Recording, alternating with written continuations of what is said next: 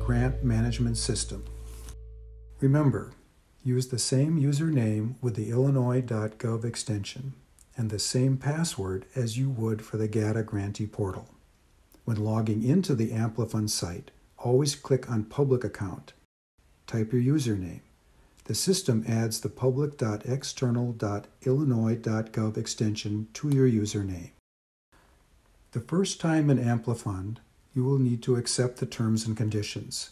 This is a one time requirement. Congratulations! You now have access to the Amplifund system.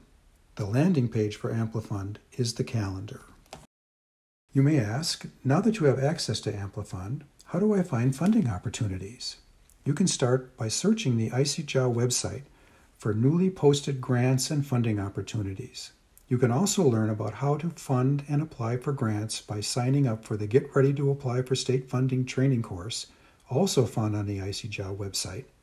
Module 3 of the course, Be Prepared to Apply, will provide the information that you need to get started.